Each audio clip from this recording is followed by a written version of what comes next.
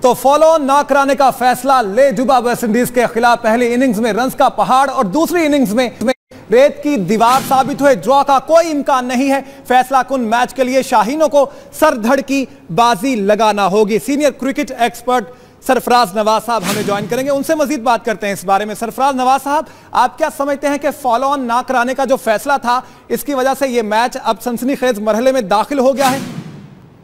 دیکھیں، میں حیران ہوں کہ فالو آن کروایا کیوں نہیں؟ جب بولر بولنگ کر رہے تھے اور ان پلیبل ہو گیا تھا ایک سٹیج پہ یسٹرڈے یاسر شاہ، تو اس کا وہ معاملہ بھی چل پڑا تھا، تو اس کو فالو آن کرانا دو سو پینتیس، دو سو پچیس رن کی لیڈ تو کافی لیڈ ہوتی ہے اور ایک سو تیئیس پہ جب پاکستان آؤٹ ہوا تو ان کو سمجھ آ جانی چاہیے کہ فالو آن کرانا بڑا ضروری تھا۔ لیکن یہ اتنے ڈر جاتے ہیں، گھبرا جاتے ہیں کہ یہ دوسری ٹیم ستر اسی سو سکور زیادہ کاٹ جائے گی تو ہم مصیبت میں نہ پڑے۔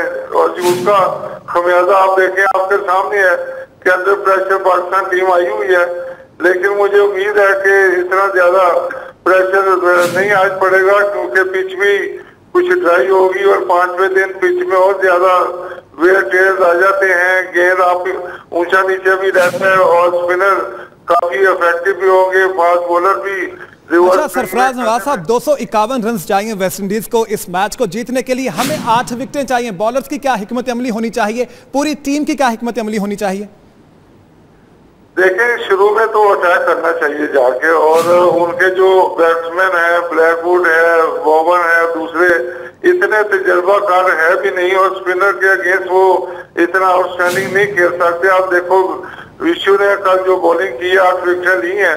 اس طرح یاسر شاہ بھی آج ان کو آؤٹ کر سکتا ہے اور اس کے بعد نواز دوسری طرف ہے، پھر ریورس سوئنگ جو کرتے ہیں، وہ بھی گین لو رہتا ہے، فاسٹ بولر کا ایل بی ڈبلیو کے بھی بڑے چانسز ہیں۔ تو میرا خیال ہے کہ اگر محنت کریں تو پاکستان کو یہ میچ مارکت سے جیتنا چاہیے۔